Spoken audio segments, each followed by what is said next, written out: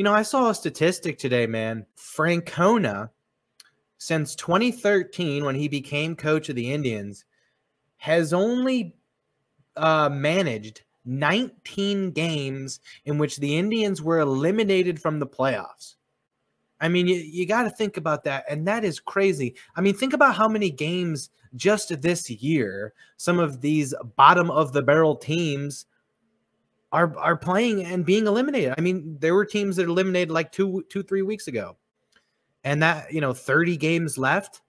There are teams this year that will play more games under elimination than Francona has pitched or has has managed in what is that eight years now nine nine years that's ridiculous that is 19 only 19 elimination games.